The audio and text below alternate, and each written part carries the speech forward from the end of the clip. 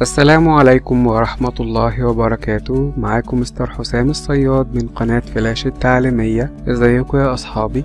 درس النهاردة درس مهم جدا. كلنا بنستخدمه في كل المراحل الدراسية. لغاية ما نخلص جامعة وحتى بعد ما نخلص جامعة كمان بنستخدمه في حياتنا العملية. درس النهاردة هو أدوات الاستفهام في اللغة الإنجليزية. إزاي بنكون سؤال وإزاي بنكون سؤال بشكل سليم وإن شاء الله النهارده هنشرحه بشكل مبسط ومفصل في نفس الوقت وبشكل جديد كمان. وقبل ما نبدأ في درس النهارده أتمنى إن أنتوا تشاركوا الدرس ده مع اصحابكم وقرايبكم علشان هو مهم جدا لكل المراحل الدراسية وزي ما قلت بنستخدمه كلنا. فأدوات الاستفهام في اللغة الإنجليزية هم تسع أدوات استفهام وهم what ما أو ماذا when متى where أين who من which أي من أو أيهما whose ملك من why لماذا how كيف وهوم للسؤال عن المفعول به في حالة الإنسان طبعا وهنوضح كل واحدة فيهم طريقة استخدامها بشكل مفصل ومع أمثلة سهلة جدا وبسيطة وأول حاجة بنستخدمها في اللغة الإنجليزية ويمكن دي أكتر أداة استفهام الناس كلها بتستخدمها بنسبة 60% من الأسئلة وهي كلمة what ما أو ماذا. W H A T. what ما أو ماذا used to ask about things. بنستخدمها إن إحنا بنسأل بيها عن الأشياء. فأنا ممكن أقولك What is your name ما هو اسمك؟ What is your name ممكن أقولك What are you doing? أنت بتعمل إيه؟ What are you doing? أنت بتعمل إيه؟ What do you eat? أنت بتاكل إيه؟ What do you eat? أنت بتاكل إيه؟ تاني أداة من أدوات الاستفهام when. When متى؟ للسؤال عن الوقت. Used to ask about time. نستخدمها ان إحنا نسأل عن الوقت. ممكن أسألك واقولك when are you leaving أنت هتغادر إمتى؟ هتمشي إمتى؟ when are you leaving أنت هتمشي إمتى؟ when are you going to school أنت بتروح المدرسة إمتى؟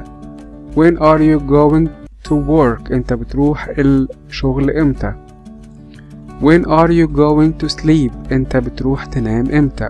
when when متى؟ للسؤال عن الزمن.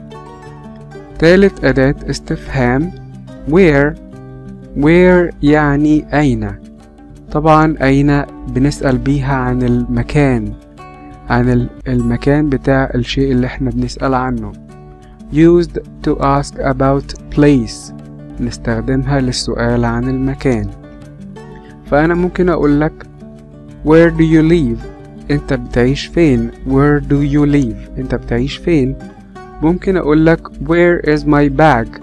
شنطتي فين؟ Where is my bag? شنطتي فين؟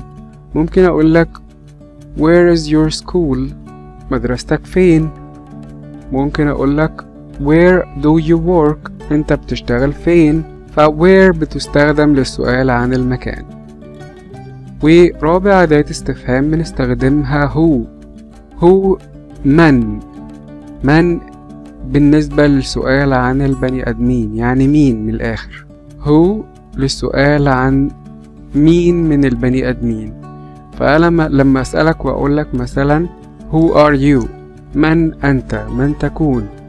ممكن أقولك مثلا who ate the cheese مين اللي أكل الجبنة؟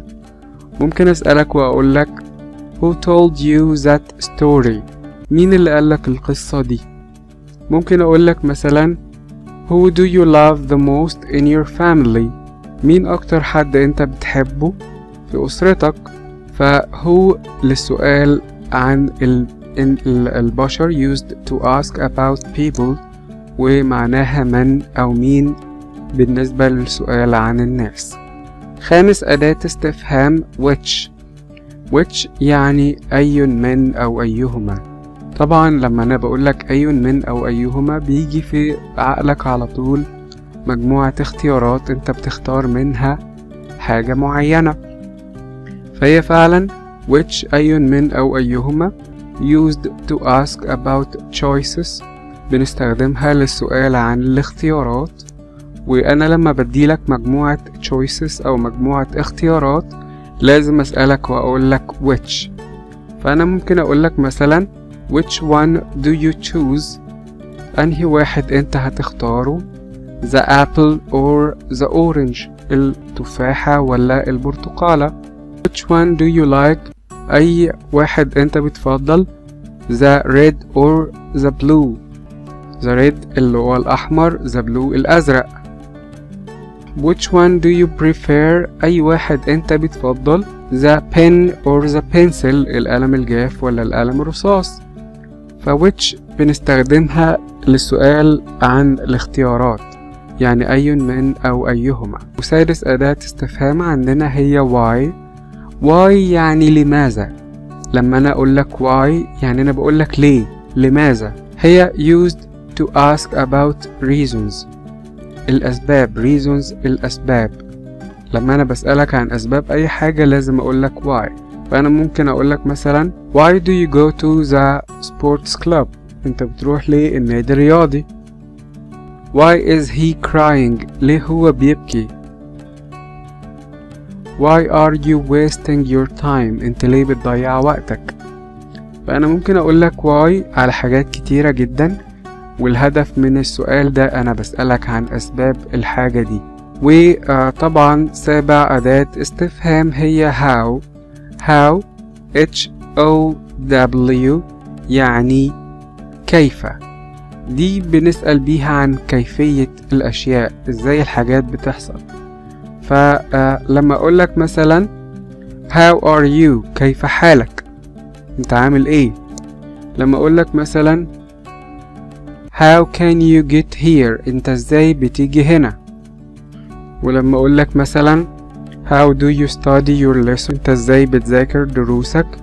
وهاو من أدوات الاستفهام اللي بيجي معاها بعض الكلمات اللي بتخليها ليها معاني تانية. زي ما أقولك how many. How many يعني كم عدد للحاجات اللي ممكن نعدها طبعا. ممكن أقولك مثلا how old how old للسؤال عن العمر. لما أجي أقولك مثلا how old are you كم عمرك؟ How much? How much ممكن دي بتيجي للسؤال عن الثمن. لما أقولك how much does it cost يعني تمنها كام؟ تمن الشيء ده كام؟ فهاو من أدوات الاستفهام المهمة جدا اللي آه بنستخدمها كتير في اللغة الإنجليزية فلازم نعرفها كويس وهي بمعنى كيف. وافتكروها دايما بكلمة how are you يعني كيف حالك.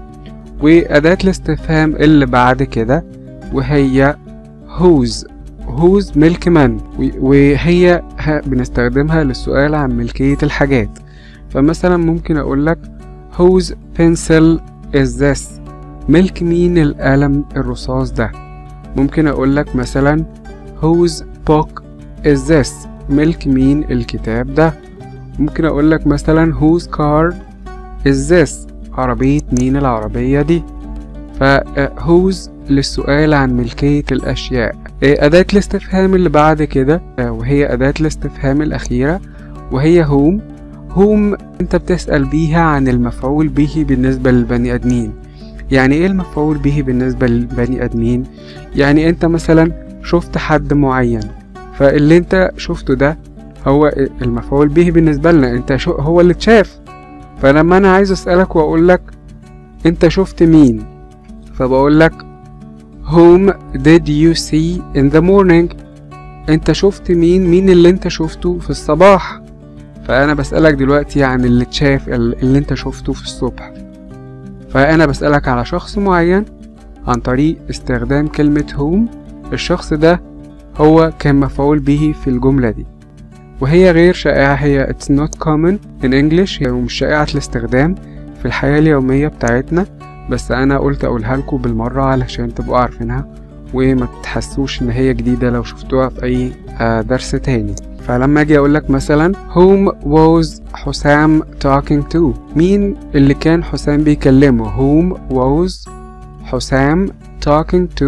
مين. اللي حسام كان بيكلمه؟ ممكن ترد عليا وتقول لي he was talking to uh, جاك هو كان بيكلم جاك his new uh, friend مثلا هو صديقه الجديد. فهم للسؤال عن المفعول به فنراجع عليهم مراجعة سريعة. What ما أو ماذا؟ When متى؟ Where أين؟ Who من؟ للسؤال عن الناس. Which أيهما أو أي من؟ Why ليه؟ لماذا؟ How كيف وبيجي تحت منها how many how much و how old whose ملك من whom للسؤال عن المفعول به من الناس used to ask about people object of verb. ولو حد محتاج أي استفسار أو أي حاجة يكتب لنا في التعليقات وإحنا هنكون more than happy.